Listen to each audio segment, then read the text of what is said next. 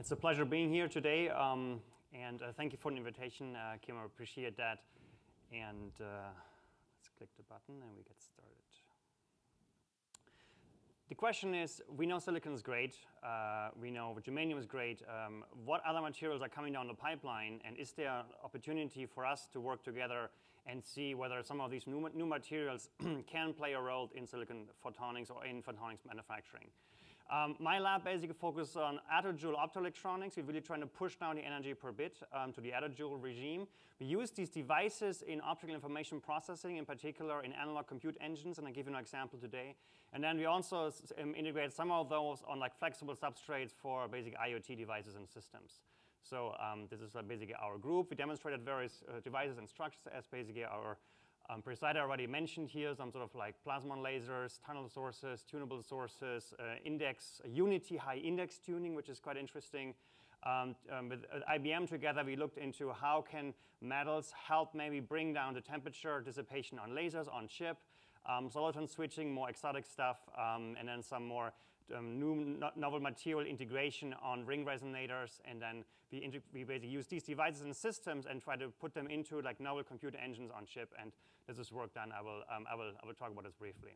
Um, so this is basically like the, talk, the topic for today. So how can we basically design systems and devices um, that really are extremely efficient in terms of power and of course, we know all the applications. So the idea basically is that we use some of these novel materials, which I will share with you today, and then we package them very synergistically with silicon photonics and plasmonics, basically, nanophotonic structures um, uh, on the chip. So that's sort of like our slogan here.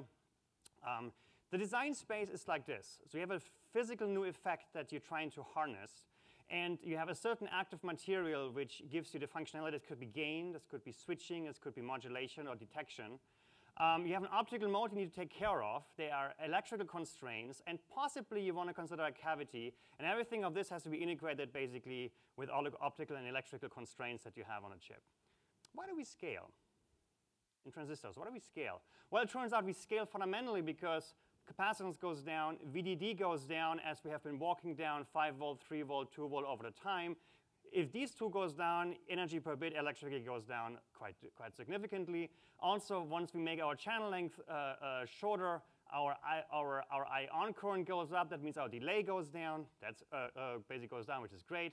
I can put more on the chip, which means my MAC per, per uh, my cost per MAC basically goes down, which is great. So, and of course, we figured out all the scaling laws. So that's why we did it in a, like in field effect transistors. Question, do we win if we go um, in nanophotonics. So is smaller equal better? Actually in photonics for our community? That's something we asked ourselves recently, and the answer is it actually depends, as always. The challenge fundamentally is light is big, um, let's say 1,000 nanometer at visible near infrared. Electron, the, matter, the wavelength is an order of a nanometer. That's, 10 order, that's three orders of magnitude difference, meaning they don't interact strongly. That means my device is hundreds of micrometer typically long, and this is inefficient fundamentally, also energy-wise inefficient. So there's people look into plasmonics, for instance, or um, metal optics. So here's my 1,000 nanometer, here's my 1 nanometer. We try to match these two uh, wavelengths. Um, the whole field of metamaterials lives in this space. They say, I take my dipole moment and I make it big. I'm trying to match this. The whole world of plasmonics says, no, no, no. I take this big light and I squeeze it down.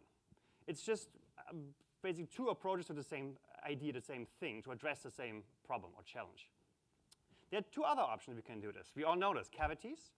We can increase Q, or I can squeeze my field down and reduce my mode volume both basically applicable solutions to this interaction. And this was a nice paper at FIO along, just like a conference paper, where the gentleman took a, like, like, a ring and scaled it down, and you see, of course, Q goes up. So as vol the, the mode volume scales down, of course, Q goes down as well. Something we kind of know for a long time. So these are the trade-off. I mean, of course, we know physically what's going on. There's a radiative bending loss, essentially, that where how I leak, uh, basically lose my light. That's something we call in the physics world a Purcell factor. Um, so this, this, this Q over V is a magical ratio. If I increase this, I win. But let's look at this a little more carefully. So we essentially look at this from three different cavities. So this is a ring cavity, this is a Fabry-Perot linear, and this is a plasmonic particle. And we asked, how do they scale? If I make them small, this is the critical length, the radius, the linear length, and here my basically my, uh, my nanoplasmonic particle. Do I win? And the answer is I win to a certain like, to a certain like, like extent. This is basically our performance. This is Purcell factor. Up is good. So you see for, these are color-coded here naturally. So you see basically there's a certain peak um, that I can achieve, which is reasonably high actually, for a ring resonator. So a ring actually is pretty good because it scales fairly flat um, with ring radius, but at some point I'm getting bending radius and basically I'm losing Q. But at the same time, as I'm scaling down, my, my radius, basically, my mode volume walks down linearly in this, in this log-log plot, linearly. So naturally I have a peak. And that peak is pretty interesting, actually. This would give me quantum mechanically actually like strong coupling almost, because it's 10 to the 3. But that's maybe for another topic. Um, the Fabry-Perot is decent, but overall Q is lower. Also, I, as I'm scaling, as I'm squeezing these two metal mirrors, I'm forming actually eventually like a metal inside a metal mode, so my mode direction switches and I don't have any more um, confinement. That's why basically the Purcell drops very drastically at some point. The plasmonic part is interesting. Now look, I can actually go to like tens of nanometer small cavities and yet have a reasonably good Purcell factor. But eventually I'm still losing as well. So we cannot go to extremely small, although this is already like, like tens of nanometers, already reasonably small. If you normalize this interesting factor, this Purcell factor by area, interestingly, plasmonics becomes, looks interesting. And then we look into devices. Basically, we look into um, how a, a, laser, modulator, and detector performs. And we, we uh, benchmark them against basically the energy per bit, and there's an electrical part and an optical part. The optical part is, let's say, for example, in modulator, we have something called power penalty. This is basically your, um, so the optical power penalty is basically like your like your on-off switching, your on state, then it's basically the average uh, power the photodetector sees downstream. And then, of course, your eye closure penalty, which is something related to the classical DC um, um, extinction ratio. So we need to take care of both, electrical and optical energy. The second one is speed. Again, electrically and optically. What's the optical speed? So this one, all, like we all know, what's, what's this one? This is basically the photon lifetime. If I have a high Q, my photon stays long time in my cavity and I cannot remodulate my signal. So of course I have this basically this averaging effect essentially. What's the figure of merit? Well, it's basically my data capacity over the power times the cost. So what does it mean? It's basically, let's say for a modulator, it would be my 3 dB bandwidth over energy per bit times the area, for instance. So naturally, if I can make my device small, but I'm losing my effect. So there is a fundamental trade-off. But if I go small, I can make my capacitance small, which is great, and my energy goes down too. But again, this, the, the effect versus the performance is a fundamental trade-off. So I need to balance these two. Um, just two slides uh, for example here. So one is uh, like the laser. So this is the laser threshold. This is like the rate equation. You can solve this, and you get this long beast here. And essentially, there are like three terms that are highlighted here. And essentially, we see at the end of the game, if I increase this Purcell factor, actually I do win. This one actually hurts me. This cavity loss hurts me. My, my, my, my, uh, my threshold increases. The gain absorption rate decreases, so my threshold actually decreases. This is good. And the pump efficiency, basically I'm getting more photons into the mode that I want. But this basically means my spontaneous emission beta factor is very high, which is again related like, like raised to Purcell factor. And long and behold, actually it's matches. See, for all cavities, the lowest threshold, so here minimum is good, is where I have the highest, the highest Purcell factor. So the, Purcell, the threshold scales inversely proportional with, with Purcell factor. And again, I can have a reasonably good Purcell factor in plasmonic systems, which are now orders of magnitude smaller than in my photonic systems. That's sort of like the question. On the other hand, my, my, my, my threshold is actually higher than um, in uh, plasmonic systems than in photonics. Can I tolerate this? The answer might be no, something we should discuss probably. For electro-optic modulators, um, so I have light in, I basically switch it, I have my light coming out, so I have an electrical, like a field effect here, and a capacitance. So my energy, my electrical is 1 half CV squared, so I take my C, I plug it in here, that's my, that, that's my capacitance. Here, um, voltage is E times H, I plug it in here, squared. Now 1H cancels, and then I basically pull out all these geometries, and guess what? This is just simply my volume. Okay, that's interesting. And then basically here we have a relation for, um, for, the, for the electric field, which depends on uh, the bandwidth, and then this depends on Q. I can plug this in here. And essentially, if you, if, you, if, you, if you look at this, it's volume over Q. That's again 1 over Purcell effect. But there's one more Q in there. So laser scales 1 over FP. Um, the, the EOM scales 1 over FP times Q, so Q is more important.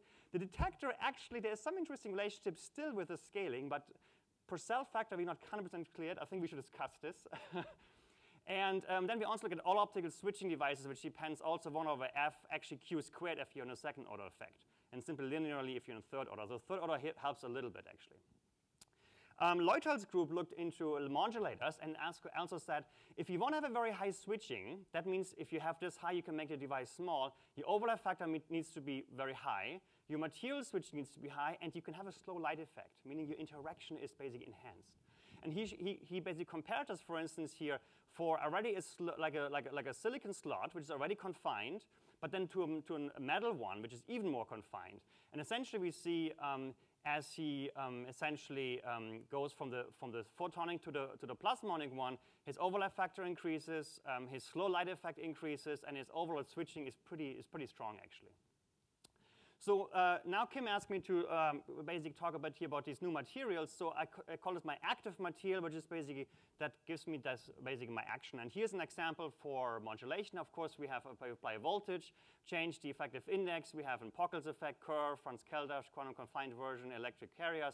And there's a whole bunch of, there's a whole fleet of options you can choose from. We all know them. So there's carrier-based ones, silicon, III-V, graphene, transparent conductive oxides, phase change, thermal effect. They have also some sort of pros and cons, but Kramers-Kronig relations in physics fundamentally tells us that if you change your real part, you change your imaginary part. So you want to get some sort of phase change, you always take a hit and loss. And the question is, is there some sort of win-win that you can actually um, possibly achieve? And the answer is actually, it turns out a cavity can help, and the answer is yes. Um, this is ITO, so this is simply the Drude model. Um, essentially, uh, what, what it means here, this is like a real part, it, um, it shows as a function of carrier concentration, you can very drastically change this index. And, and here, basically, uh, here, like here's the real part, here's the imaginary part. You can really see, you can change it by unity, essentially. It's quite interesting. Um, you can also change the loss very dramatically. And this error here, incidentally, is a device we made in the past in this paper here. Um, you also notice if you get to this point here where this, where this tip ends, you actually have E and Z, epsilon near zero. So your wave is flat. And then you have a very strong interaction with your system. It's kind of an interesting point to, uh, to play around. ITO is an interesting material. Um, depending how you process it, you get all sorts of different uh, results. Um, this is literally all ITO, and you, look, you see physically it looks very different. Um, it has to do with like resistive well. Too much oxygen is, is gives you high resistance. Uh, too, too much tin gives you resistance. So there's some sort of resistive well structure. So we did ellipsometry, we characterized this, and we basically found you can actually get, um, get um, um, basically 0.15 actual K switching in your material and basic unity index switching in the, like in the uh, real part. That's, in, that's transparent conductive oxide, so it, it's good for switching. How about 2D materials? You heard about them. So graphene, semi-metal, yeah, some other materials which have, in, which have a wide variety of band gaps. They're also insulators. And um, they're also interesting materials um, for active photonics. This is, for instance, uh, graphene here. Graphene has something called like a Pauli blocking.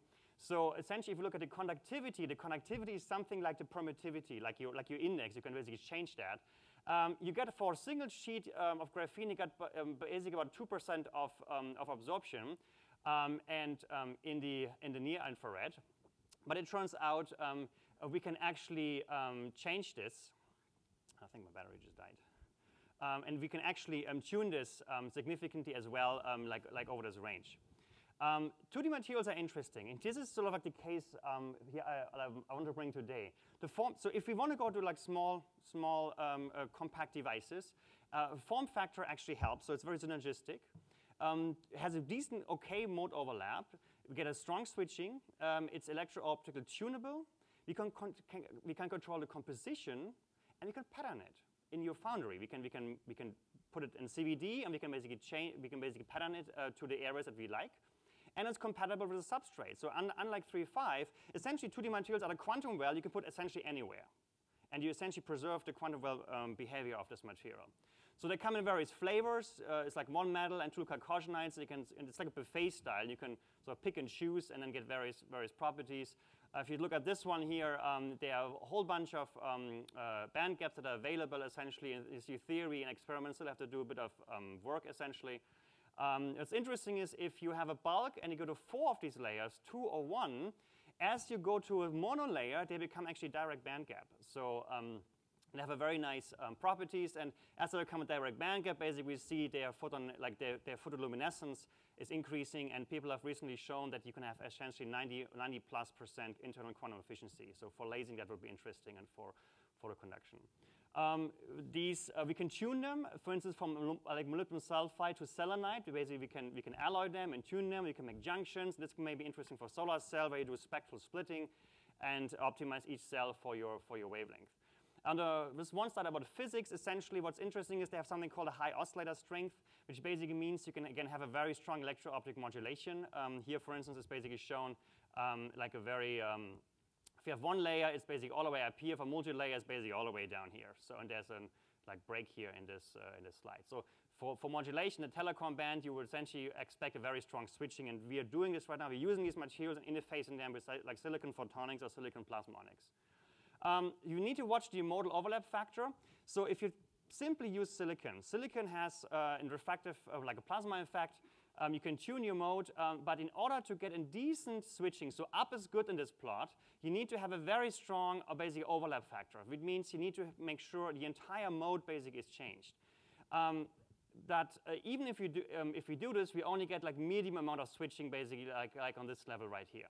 Um, it turns out if we, for instance, use, um, use graphene or use this graphene effect or this ITO effect I told you before, essentially we can, we can actually get away with much lower overlap factors and get significantly higher switching already.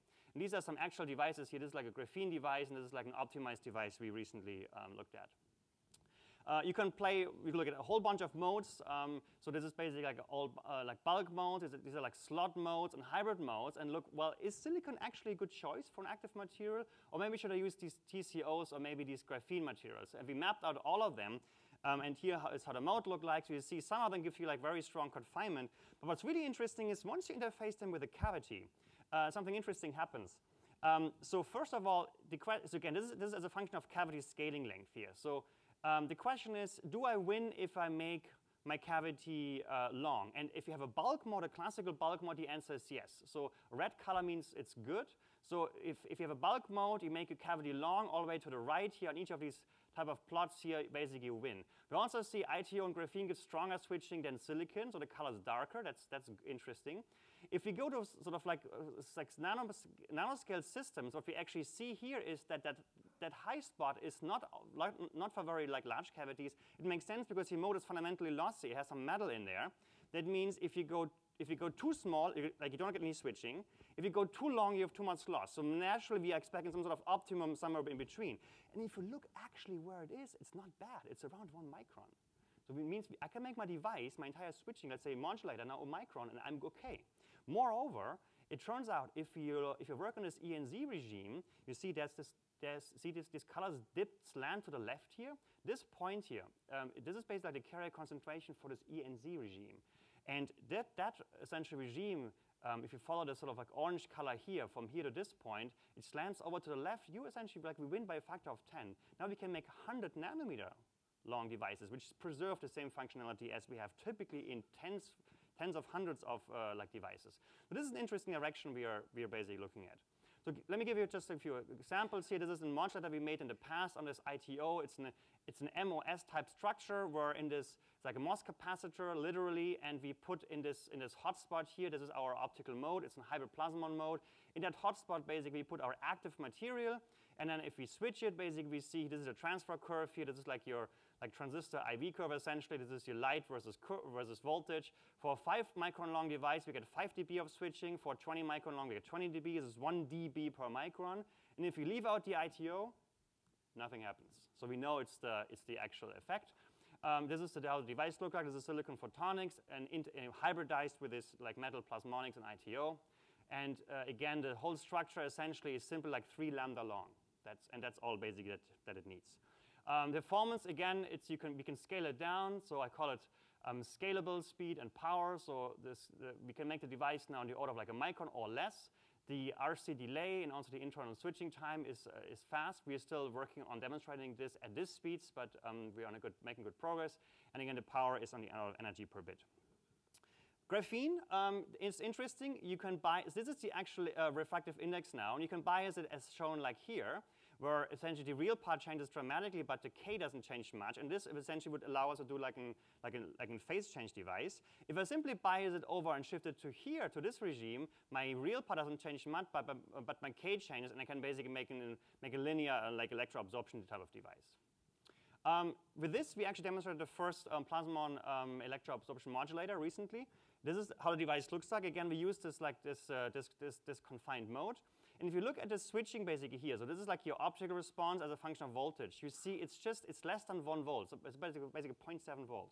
And the reason why this works so well, unlike some previous works which, uh, like which used four, five, six volts to switch, like to switch, is we have a very good electrostatics. And this is basically enabled because in this device we can have this metal, which is our plasmonic mode, so it's basically a plasmonic mode confiner, it is an electrical contact for free. And this means we have fundamentally a very low res like resistivity. And resistivity basically comes in in this equation here in this, in this A0, which is basically like a resistive term, and, and into this like, like into, um, into this voltage term.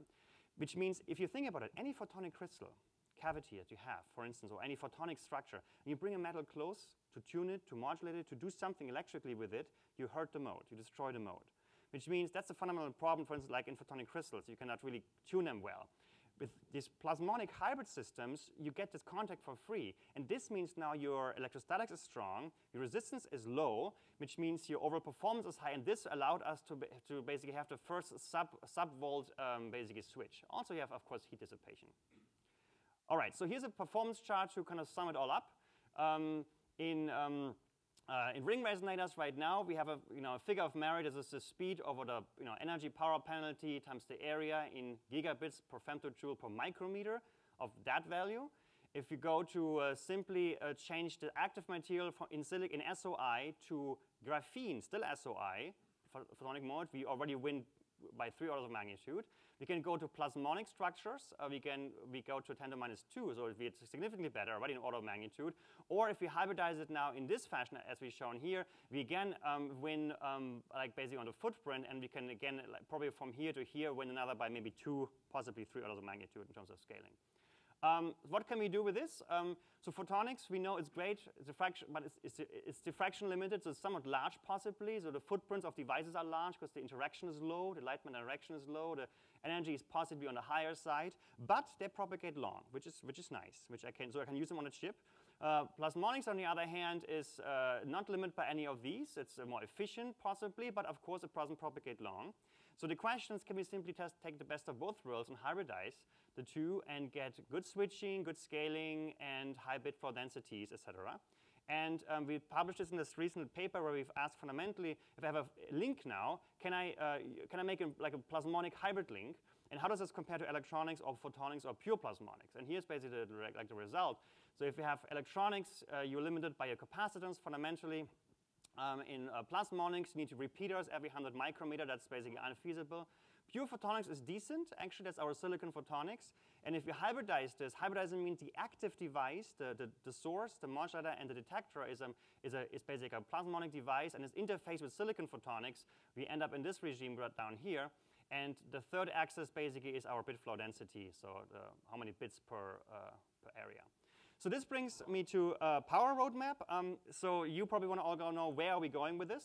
And this is basically where we see the big picture. So right now, this is classical. This is what I call in my silicon photonics. So right now, we use hundreds of femtojoule, maybe down to 10, in fact, a few femtojoule, we heard the talk earlier, so we're really pushing this down to this, to this like one femtojoule limit, but we pretty much, you know, if I tape out something in the foundry, I'm pretty much sitting basically up here. That means fundamentally, you know, 100 femtojoule means I'm using 10 to the 5 photons per bit. So that's when I talk to or used to talk to Mario Paniccia, and he asked me, "Do you have a laser? And then he asked me, how much power do you have? And I said, well, you know, nanowatt, he was not interested. He wanted milliwatt. Well, that's, that's basically why. Because if I multiply now the energy efficiency times the bandwidth, essentially, so that's basically joule per bit times bit per second, that's joule per second, that's what? That's the third axis is simply power burned. And yeah, that means right now on a single device level, we use milliwatt. The question is, can we bring this down to maybe microwatt? And the answer is probably yes. Um, if we go to this like nanoscale regime, um, which means you see these, these, these ISO power lines here, um, uh, this arrow is steeper than the ISO power lines. And again, bandwidth is the other factor. If I have this uh, large device, which I need a long interaction length, I need millimeter or maybe hundreds of micrometer long interaction length. That means my RC delay is high. That means my bandwidth is fundamentally high as well. So if the idea is if we go to this nanoscale regime, essentially I can go to like micron scale devices and my bandwidth maybe approaches 100, 100 gigabits per second or maybe even beyond. Of course, you see quantum down here. I think we're not there yet, probably, because then we like we run into SNR issues and and a bit error rate issues and so on. But that's basically like our our our our, our uh, direction. There is nothing is free, right, in life. So there's a Q over V. This, this, this is basically like the amount of Purcell factor you need to introduce into your system to make this happen. And, but these values are reachable right now experimentally. So that's basically like the big picture here. So now we have links. Now you can go to compute systems. Um, energy efficiency on the y-axis and x-axis basically is uh, sort of like your speed, well, normalized per area uh, and, and per second. So uh, in electronics, we know electronics is great, but electronics is fundamentally limited um, in terms of speed, um, but also in terms of like actual like power dissipation, which is heating up these wires, their ohmic resistance, that's basically lossy. If we go to something that's like sort of photonics, essentially like we use the bosonic character of photons or of, of, of RF waves in a way, um, you have more parallelism built in because photons like bosons don't interact strong with each other. So that's basically good. So we can basically eh, like increase the speed, but they don't scale well. So the question is actually, can we go beyond this? And this is basically an direction where we're trying to say, we're trying to map directly the, the computation that we want to get done.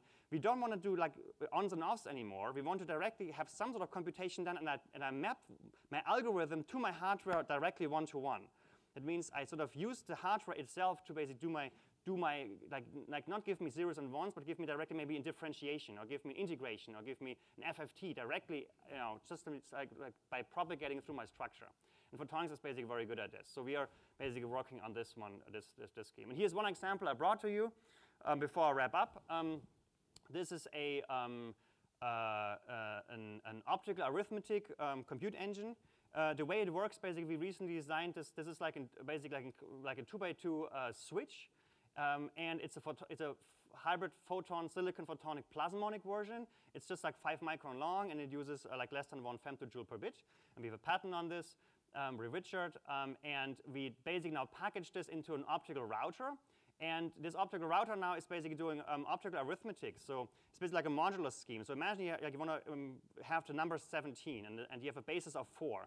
So you do like 17 divided by 4, it's 4, it's 16, 4, rest 1. So what you do, you have four waveguides coming from top, four, four from the bottom. What you simply do, you basically route three of them, one over, and this one uh, that, that was on the left all the way over here. So, th so that would be like basically like, um, like residue 1 or modulus 1. Um, and it's a, it's, a, it's a multi-purpose compute engine. And the way why I think this is interesting again, because a photon, we all like photons. Photon has, has momentum, and momentum, mass times velocity. So if you um, uh, you can never essentially slow or stop a photon. If the velocity would go to zero, the mass would go to infinity. That means fundamentally, a photon must always flow. You can never stop like unless you kill it, unless you annihilate it, right? You detect it. So the photon must always flow. Can we, while we flow the photon, get computation done? And the answer is yes. Um, with, this, with this algorithm, basically, we can. And it's, it's a, you can think about it as an, it's an in-the-network compute engine. And if you look at the numbers down here, probably too small. Actually, it's very competitive. To, in fact, it's uh, about three orders of magnitude better than basically uh, current NOC with 22 nanometer technology node. So this feeds this, this one. And then uh, my last slide here, this is a slide I made about one and a half years ago when I was excited about IMES. So one of these devices is um, a photonic device, the other one is an electronic device. Would you know which one is which? Any guesses? well, that's the whole point. Um, the question is, so it turns out the left one is actually a transistor, is in FinFET, and the right one actually is, uh, from Miller's group from Stanford, is actually a uh, plasmonic enhanced um, antenna uh, device. The point is, in, uh, CMOS is really, so the question is, are we, been, are, we, are we as photonics people driven by CMOS, or are we driving now CMOS? I think the chicken and egg thing is maybe possibly switching now, right now.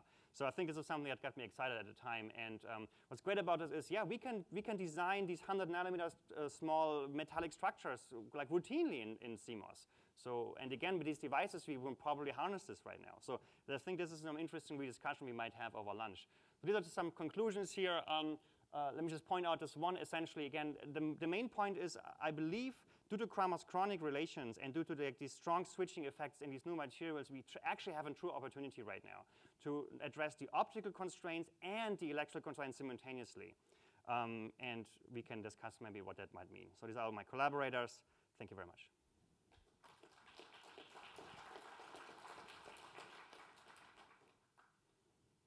Yeah, sorry, a bit long maybe. Yeah, so there was a lot in that talk. Uh, so perhaps somebody has a quick question before uh, we leave for lunch. If not, I recommend. Kim does. Quick question. Uh, So, uh, a question about two aspects of what you said. One is, do we have a scaling vector for photonics? Uh, For photonic shrink? Uh, And then secondly, uh, you mentioned we can get contacts for free with, with a hybrid structure. Uh, Can we use those in- to eliminate the contact loss in, in the more his classical photonics? Right. Um, the, the contact laws, I believe, we can use them at least electrostatically. Um, I, we, um, I have not investigated personally whether we can use them to maybe actively inject carriers. Like an, uh, it's something we looked at with IBM. So we, we, we- actually published a paper on this, and it's, it suggested that it might work, but it was just simulation at this time. It was not. We didn't demonstrate the actual device. So I think for electrostatically, I definitely give it a yes. I know it works. We, we made some devices, but for injecting, um, that's maybe still yet like, like yet to be seen. Um, do we have a scaling vector for photonics? I believe we do. Um, at least uh, since we did this, this, this sort of scaling analysis now. In fact, it was really like Thomas sitting in the audience. It was really like motivated by Thomas' work from your uh, 2011 uh, paper, from your conference paper, where he, like he looked into some sort of scaling for um, um, uh, basically for modulators. So we said, you know, this is interesting. Can we look, can we look beyond this? And it's, it sounds actually that we have some uh, scaling uh, vector, um, at least I would say down to maybe the hundreds of nanometers right now. So I think an order of magnitude looks, looks promising. Then things become really probably, we need to then discuss about the bit error rates and those kind of questions. Thank you. So let's thank all of our speakers again, please.